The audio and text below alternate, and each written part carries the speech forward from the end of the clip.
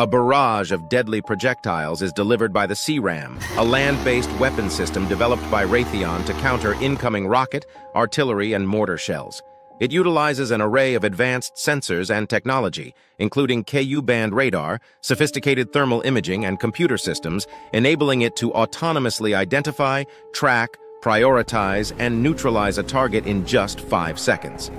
Equipped with a 20 milli Vulcan Gatling cannon featuring six barrels, the CRAM can unleash rounds at a rapid rate of 4,500 per minute, effectively destroying incoming threats within a 1,000-meter range. The first CRAM system was deployed in Baghdad in 2010 to protect the Green Zone, which houses the American Embassy.